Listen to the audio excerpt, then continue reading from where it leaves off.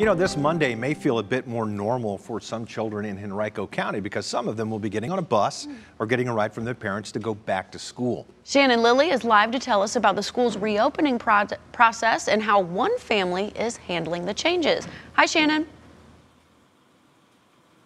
Hi, Kristen and Rob. Well, for many families, it has been a long time coming, but starting today, students in grades pre K through second grade will be able to walk through their classroom doors, and very soon after, more students will follow. In fact, from here on out, each week, students will return in phases by grade level, and in two weeks from now, all Henrico students will have the option to return to their classroom. That includes middle schoolers and high schoolers. This comes as progress is being made in the effort to vaccinate vaccinate Virginians. Earlier this month, Governor Northam called for school systems across the state to reopen and begin at least some in person learning plans by March 15th. We spoke with a grandmother. Her name is Lorette Turner. She has three grandchildren in Henrico County Public Schools.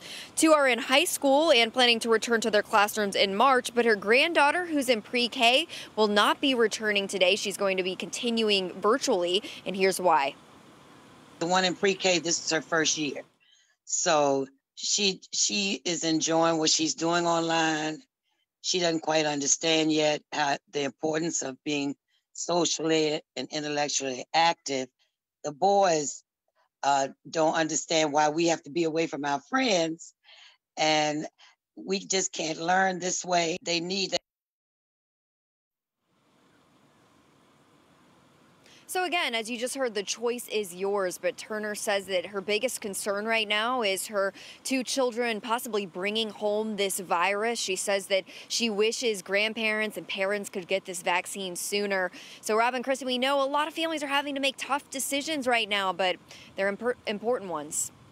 Getting children back to school safely. Mm -hmm. That's what they want to That's do. That's the thing.